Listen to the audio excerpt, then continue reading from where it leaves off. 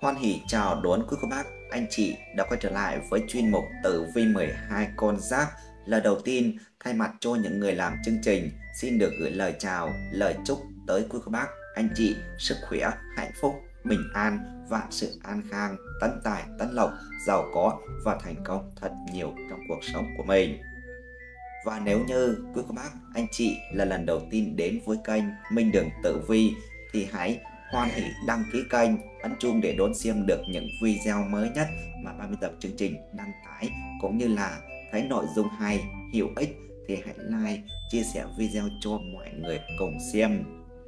Và quý cô bác, anh chị cũng đừng quên để lại ý kiến đóng góp ở phía bên dưới phần bình luận kênh Minh Đường Tử Vi. Chân thành cảm ơn quý cô bác, anh chị.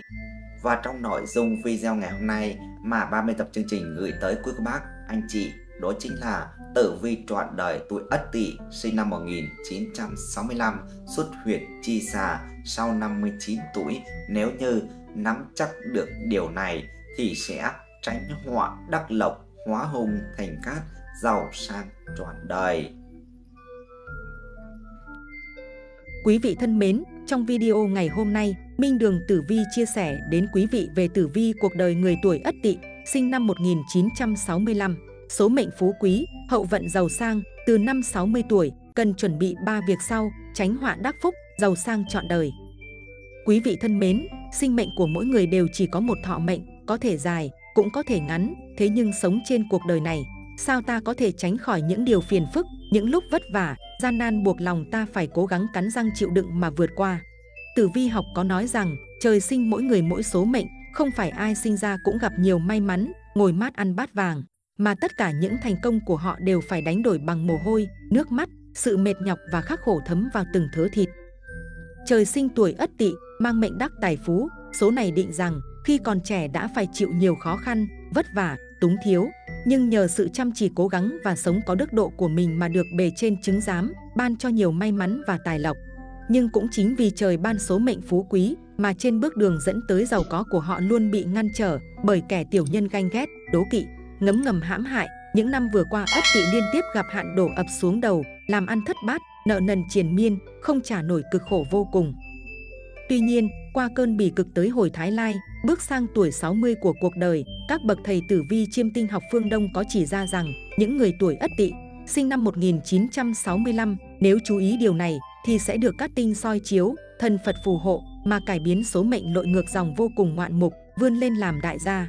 Tiền bạc ngập két, giàu nhanh như vũ bão, khiến ai ai cũng kính nể, đến khi về già sẽ tận hưởng vinh hoa phú quý, an nhàn, sống hạnh phúc bên gia đình, con cháu. Vậy cụ thể vận trình tử vi chọn đời của người tuổi Ất Tỵ sẽ diễn biến như thế nào? Từ năm 60 tuổi sẽ xảy ra bước ngoặt nào?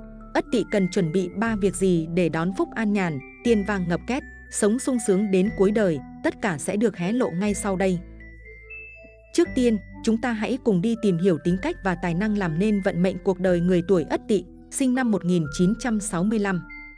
Người tuổi Ất Tỵ có khả năng trở thành nhà chính trị, triết học, thần học hoặc một kỹ sư luyện kim, cũng có thể trở thành một nhà tư tưởng sâu sắc. Họ là người khó hiểu nhất trong 12 con giáp, bởi là người có trí tuệ đặc biệt thiên bẩm, nên họ còn có thể trở thành một người mang chủ nghĩa thần bí. Những người tuổi Ất Tỵ có văn hóa, thường rất thích đọc sách, nghe nhạc, thích ăn ngon, thích xem hài kịch, Họ bị tất cả những thứ có giá trị thẩm mỹ thu hút, trai tài gái sắc thường là người tuổi tỵ. Vì thế, nếu bạn là người tuổi tỵ, nhiều khả năng bạn sẽ có một vận mệnh tốt. Người tuổi ất tỵ thường quyết đoán và hành sự theo ý mình, có hòa đồng với số đông, họ hoặc là một người có niềm tin tôn giáo sâu sắc, hoặc là người theo chủ nghĩa hưởng lạc.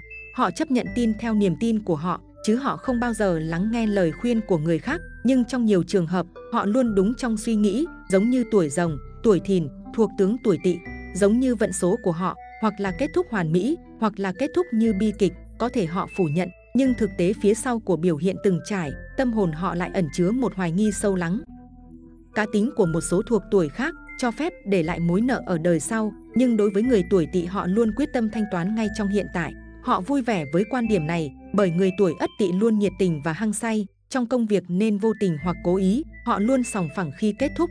Người tuổi ất tỵ không bao giờ bị khuất phục bởi đồng tiền, Họ luôn vui lòng với tất cả những gì họ có. Nếu thiếu tiền, họ sẽ nhanh chóng tìm được giải pháp để thay đổi tình thế. nhưng người tuổi tỵ không nên đánh bạc bởi họ chắc chắn sẽ trở về với đôi bàn tay trắng. Đặc biệt, người tuổi ất tỵ không bao giờ có sai lầm lần thứ hai bởi họ là người có khả năng tỉnh ngộ rất nhanh và mau chóng rút ra kinh nghiệm. Nói chung, trong kinh doanh, họ là người cơ mưu và cẩn thận, là một người bình thường, tuổi trẻ đã từng nếm trải sự nghèo khó, sẽ không bao giờ quên khi có được sự khá giả, lại trở thành tham lam và keo kiệt. Xét về mặt tính cách, Người tuổi tỵ rất đa nghi, nhưng không giống như người tuổi dần, hổ. Người tuổi tỵ thường cất giấu sự hoài nghi trong đáy lòng, là một người tuổi ất tỵ có văn hóa. Họ sẽ không bị cuốn mình theo những chuyện vô bổ. Đối với tiền bạc họ là người khẳng khái, nhưng khi cần đạt được mục đích, có thể một số trường hợp họ bất chấp thủ đoạn. Họ sẽ không ngần ngại e dè khi loại bỏ những vật cản trên đường, có thể nói tất cả những lời dự đoán về tương lai, vận mệnh của người tuổi ất tỵ thường không đáng tin cậy bởi họ là những người có đầu óc cơ hoạt nhưng lại kiên trì bền bỉ nên nhớ người tuổi Ất Tỵ là một tuổi kiên cường trong 12 thuộc tướng. Trong quan hệ, người tuổi Ất Tỵ là người có cá tính mạnh mẽ, yêu cầu đối với đối tượng rất cao. Họ vốn là người đa nghi, nhưng cấp độ nghi ngờ còn tùy thuộc vào đối tượng. Họ tuyệt đối không chấp nhận sự lừa dối khi họ cảm thấy lo sợ hay nghi ngờ. Với một khả năng mẫn cảm cao rất có thể bị ước chế cực độ khi họ bị kích thích, tức giận, mức độ tức giận sẽ cao hơn người bình thường nhưng bề ngoài cư xử với đối tượng vẫn có thể trở nên bình thường, dù trong lòng họ đang sôi sục, căm phẫn, họ thường thích có biểu hiện lãnh cảm với đối tượng chứ không thích dùng những lời lẽ cay độc hay biểu hiện thô bạo. Có một số người tuổi ất tỵ lại thích cho kẻ thù những đòn chí mạng, hòng tiêu diệt triệt để, bản thân tư duy của họ là một âm mưu, chờ đợi thời cơ để báo thù. Nếu ai không may là kẻ thù của họ, thì tốt nhất không nên đối đầu, thực ra tránh voi chẳng xấu mặt nào. Nữ giới tuổi ất tỵ thường là con gái đẹp, họ lạnh lùng với vẻ đẹp hút hồn, họ là người tự tin, tuy rằng mỗi khi nhàn rỗi, họ hay lui tới những nơi vắng vẻ để tìm sự tĩnh lặng, vì thế gợi cho người khác nhầm tưởng họ là người thích nhàn rỗi. Nhưng thực tế bản chất của người tuổi ất tỵ nói chung luôn ẩn chứa trong lòng họ những hoài bão, ý chí vươn lên, vì thế về tư tưởng, họ luôn là người bận rộn. Người tuổi ất tỵ thường có nước da đẹp, ít mẩn ngứa hoặc mụn nhọt, mặc dù có thể họ ít quan tâm đến việc chăm sóc da mặt. Trong điều kiện có bức xúc tâm lý thì có thể ảnh hưởng đến hệ thần kinh hoặc hệ tiêu hóa và rất ít biểu hiện ra bên ngoài. Có rất nhiều người tuổi ất tỵ có bệnh về dạ dày hoặc suy nhược thần kinh, những bệnh này thường do ức chế nơi tỳ vị mà sinh ra.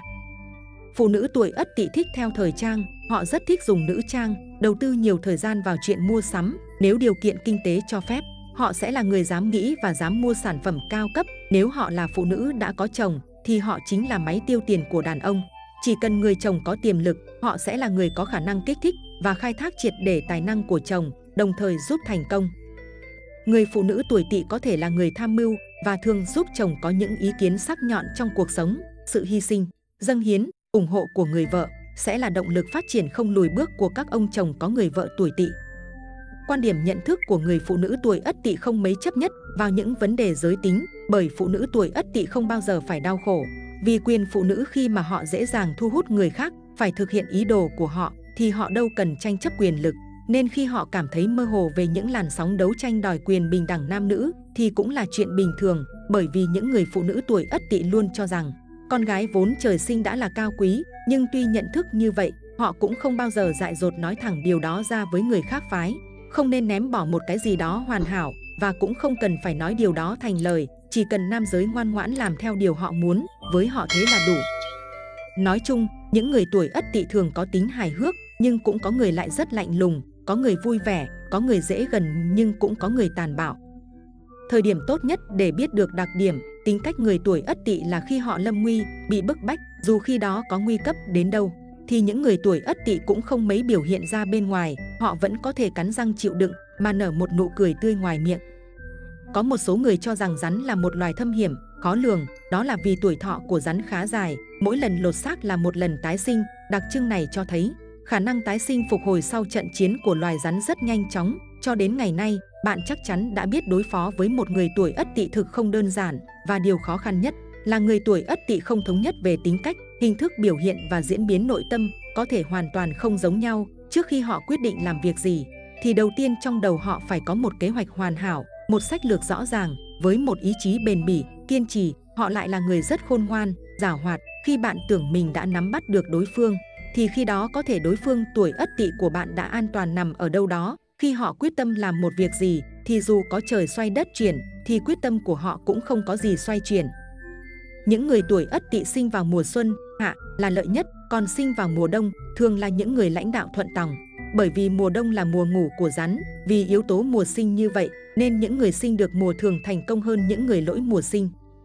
Người tuổi Ất Tỵ rất đa tình, mắt của họ thường trong như mặt nước mùa thu, vì thế rất nhiều người khi gặp ánh mắt đó lại lầm tưởng họ đang yêu.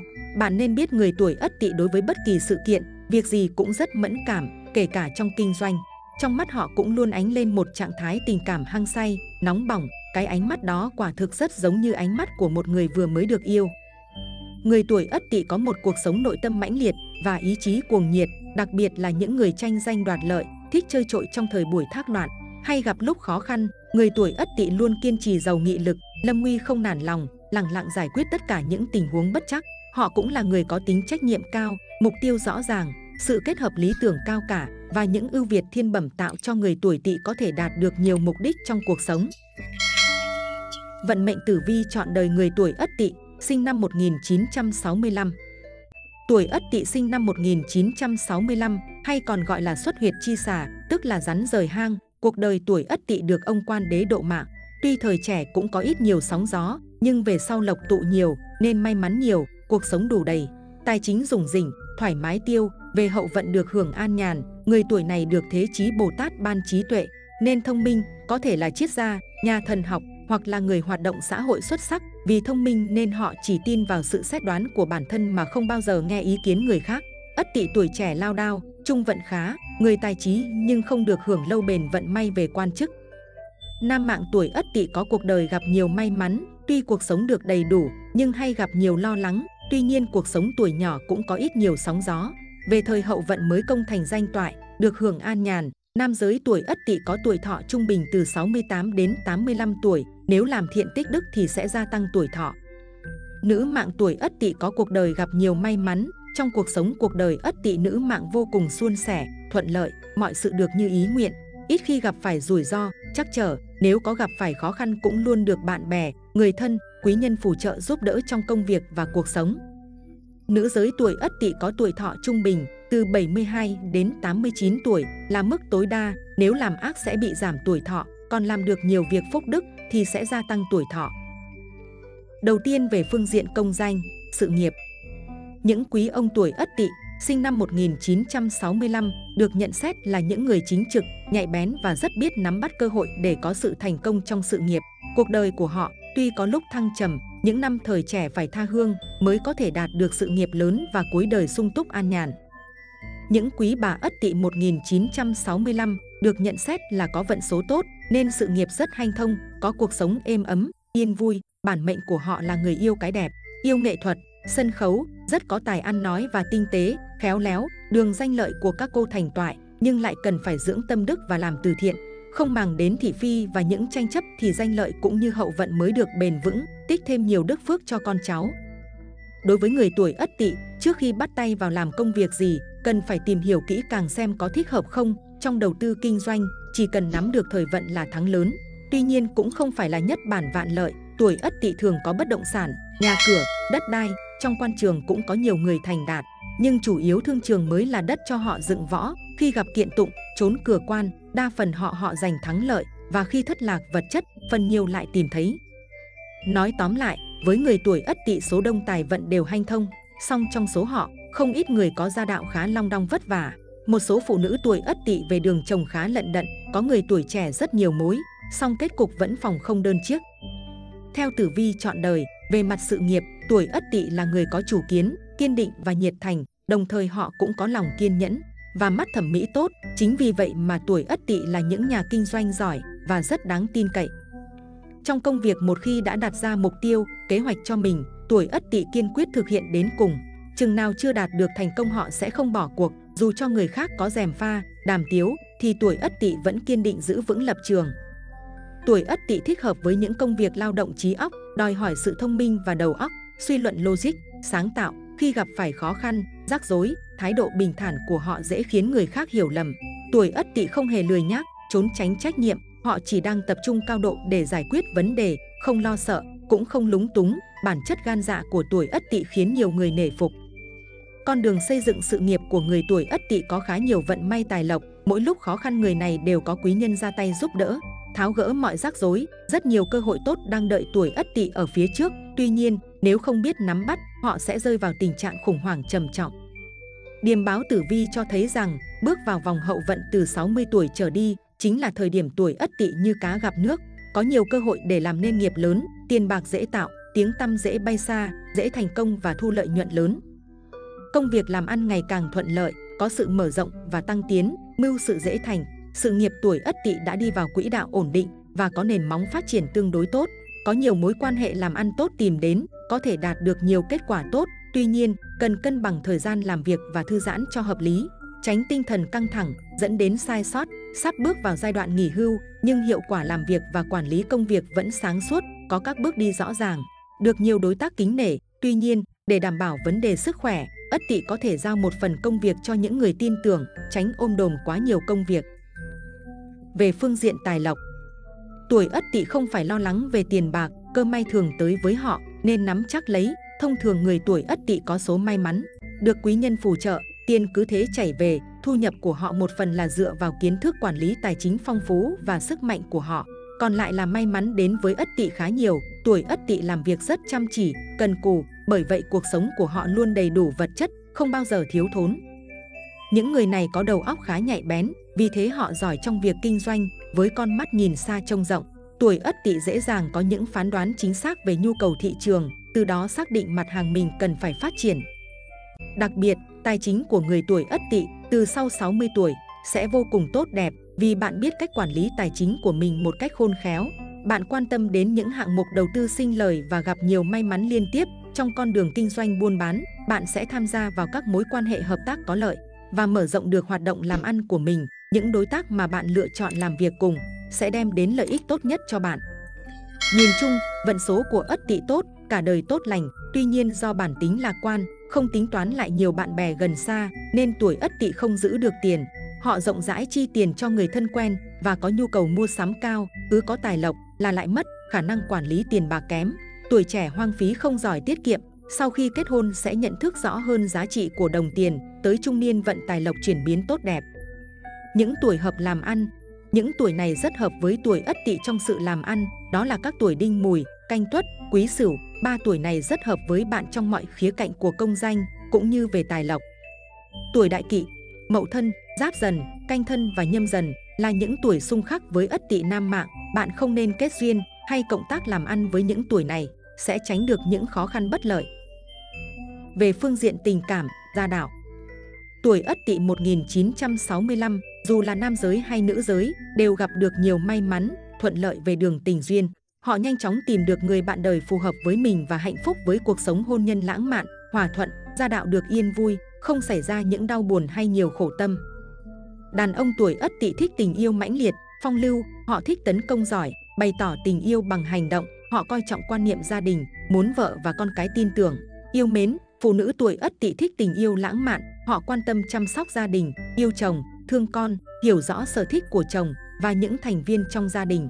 Họ là những người vợ mẫu mực, sức mạnh của hỏa và năng lượng ấm áp, nên khi yêu họ nhiệt tình và dường như quên hết mọi việc, họ quan tâm chăm sóc nửa kia rất chu đáo.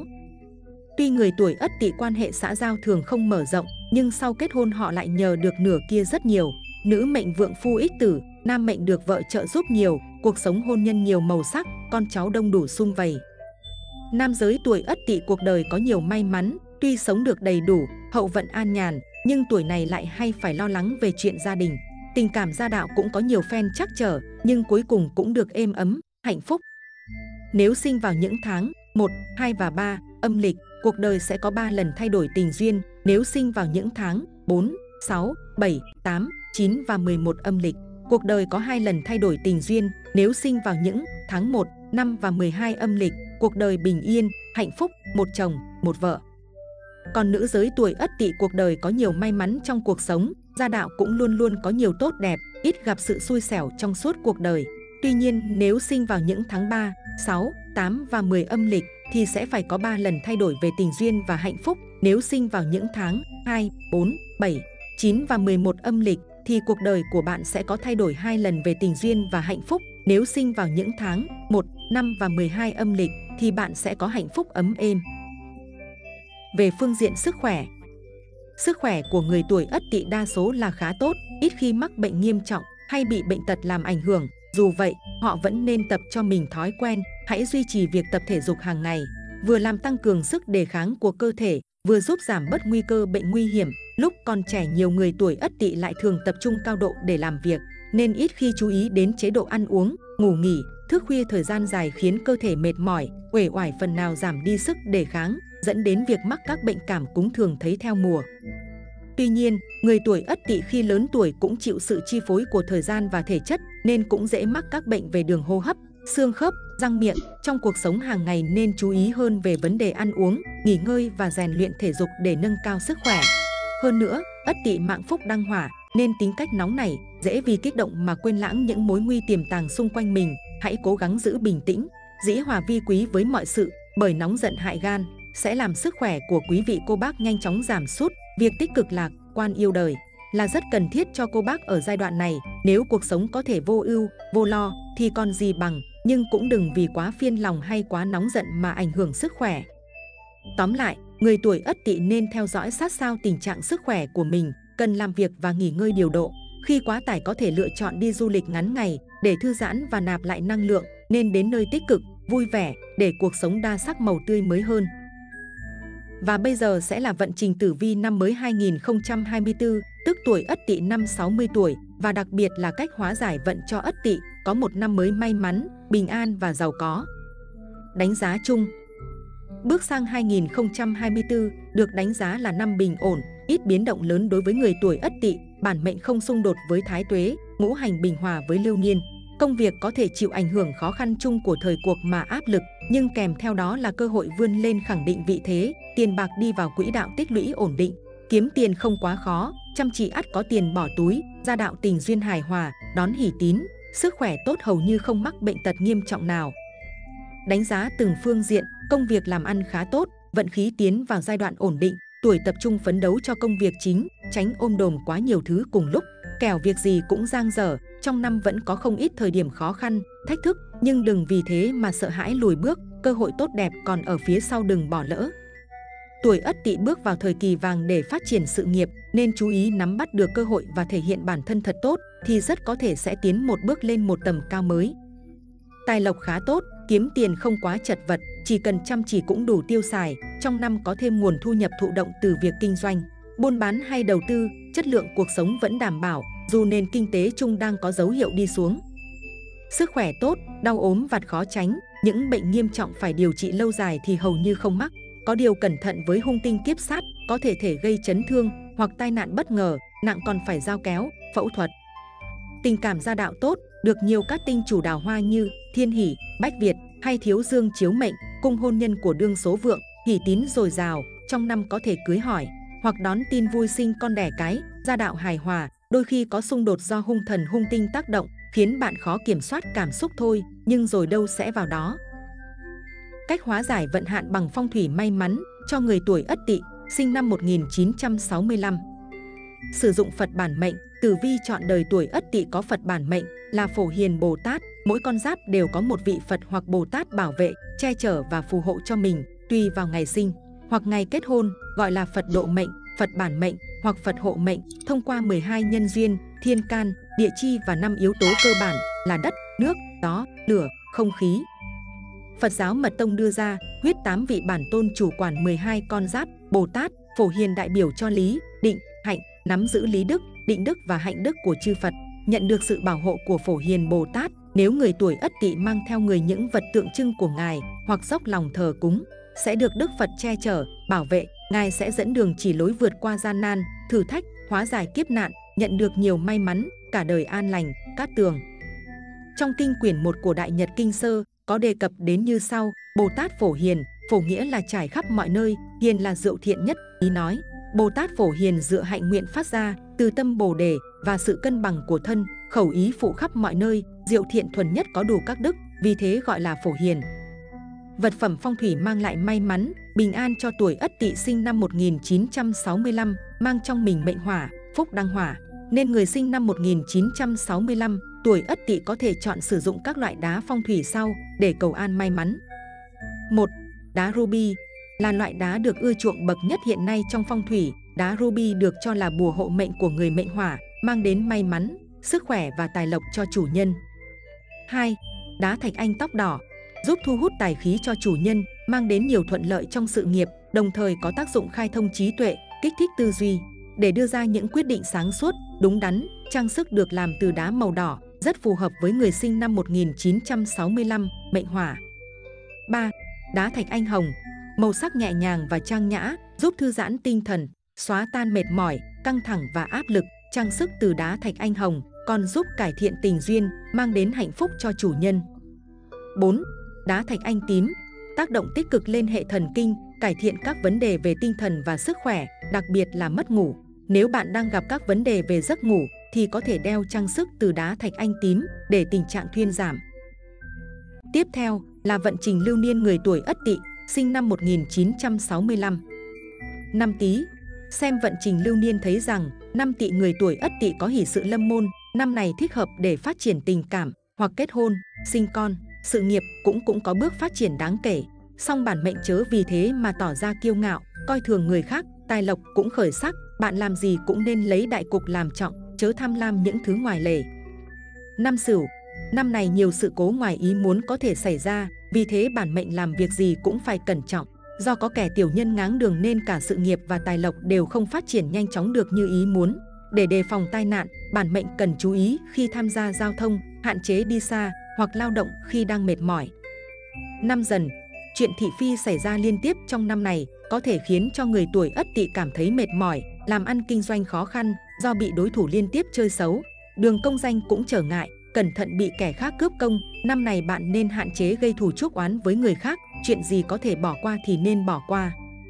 Năm Mão Năm Mão bản mệnh sẽ phải bôn ba vất vả để cầu công danh, tài lộc do phạm hung tinh thiên cầu nên bạn cần phải chú ý sức khỏe, tránh làm việc quá sức, nên biết việc gì nên làm và việc gì nên tránh. May mắn quý nhân xuất hiện vào cuối năm sẽ khiến cho vận trình của bạn có chuyển biến, khắc phục được nhiều bế tắc.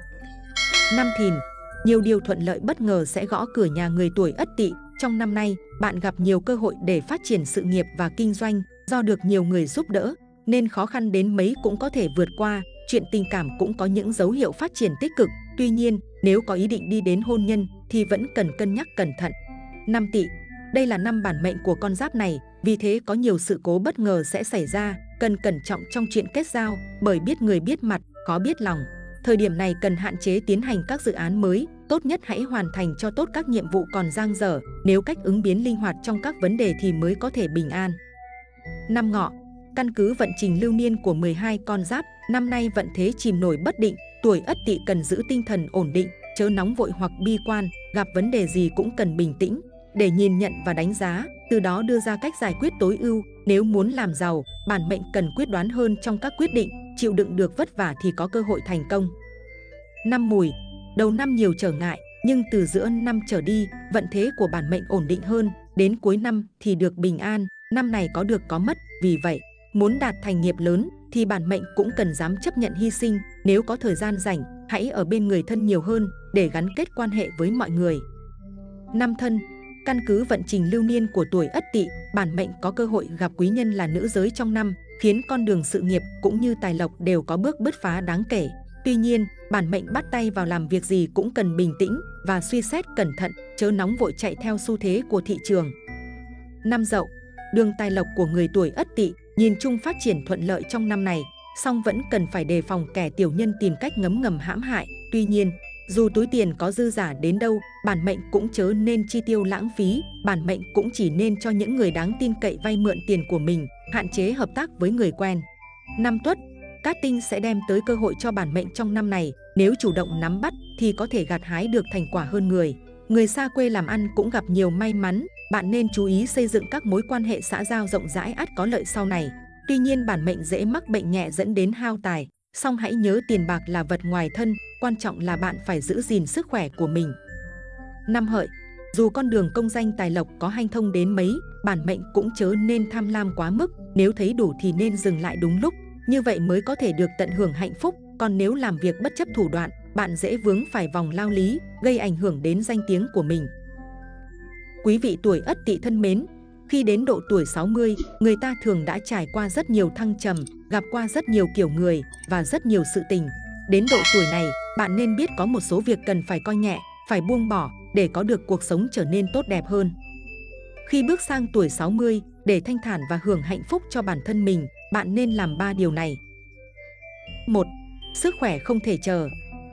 Ở tuổi 60, nếu bình ổn vượt qua mà không có bệnh tật gì nghiêm trọng, thì rất có thể sẽ được trường thọ hưởng phúc. Người đến tuổi 60, sức khỏe không thể chờ, nghĩa là không thể ngồi yên, phó mặc cho bác sĩ, thay vì quá phụ thuộc vào thuốc men, bệnh viện, bạn hãy chú ý thêm tới việc điều dưỡng thân tâm, tính tình, rèn cho mình một tâm thái tốt đẹp. Y học cổ đại nói rằng, thân và tâm của người ta là một thể không thể tách rời, tâm sáng thì thân mới khỏe, lòng thiện thì cơ thể mới không còn tật bệnh. Cái gốc của dưỡng sinh lại chính là dưỡng tâm, vậy thuốc men chỉ có thể trì hoãn bệnh tật của bạn nhất thời.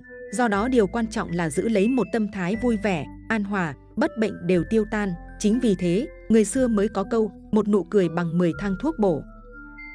2. Nuôi dạy con cái không thể chờ.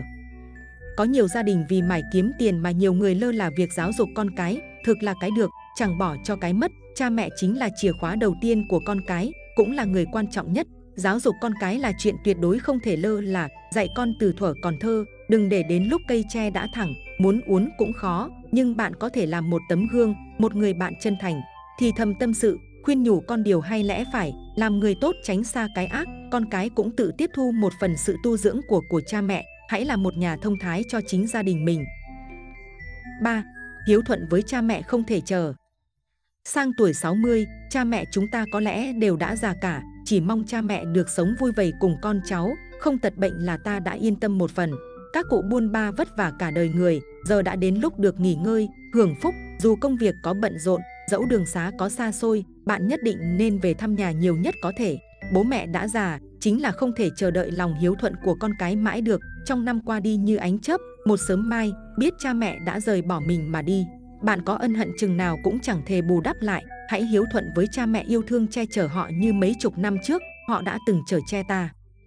Đó chính là một loại mỹ đức, một loại hạnh phúc, cũng là một loại hồi bạc báo, tuần hoàn của tình yêu thương, chẳng phải đó là việc rất đáng nên làm hay sao? Vâng, cảm ơn quý vị đã dành thời gian theo dõi và lắng nghe đến hết luận giải của Minh Đường Tử Vi. Trên đây là Tử Vi chọn đời cho người tuổi Ất Tỵ, sinh năm 1965, từ năm 60 tuổi. Mong rằng những dự báo trên giúp quý vị thật nhiều niềm vui và thành công trong cuộc sống. Minh Đường Tử Vi xin chào tạm biệt và hẹn gặp lại quý vị trong những chương trình tiếp theo.